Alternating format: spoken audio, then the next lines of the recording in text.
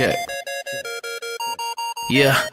There was a little boy who had these digital toys. He'd kill off all of his joy and leave him always annoyed. Destroyed everything he enjoyed to the point he can never rejoice. No choice, he's a mainframe slave with a brain powered by games. With violence but guts, grenades. Arcades is where he stayed and played till the morning came. That became all that he could reclaim. It's a shame he cannot maintain or explain how he got addicted. All he knows is he is gifted in his twisted little mind. Just another lost kid living Generation Y where their lives running by. Everything starting with I, cause it's me, me, me.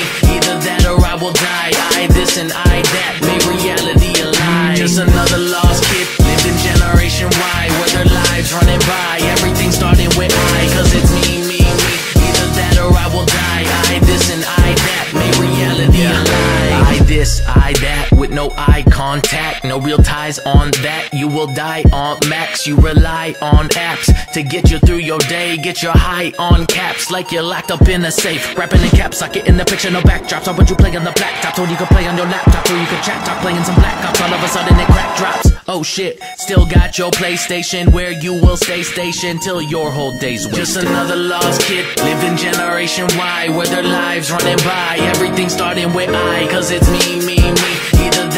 Will die. I this and I that. Make reality a lie. Just another lost kid living Generation Y where their lives running by. Everything starting with I, cause it's me, me, me.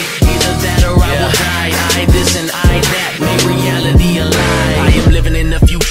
I see is computers. All these first person shooters make nerds like me not the losers. I can't be an accuser when I'm the biggest abuser on the topics of electronics. I'm a prime-time consumer. So are we robots or humans? Are we monsters or mutants? Are we teachers or students? Can't decipher the blueprint. So sick of following movements that don't make any improvements. We all are servants to the system, only causing pollution. See, I'm just another lost kid living Generation Y where their lives running by. Everything starting with I.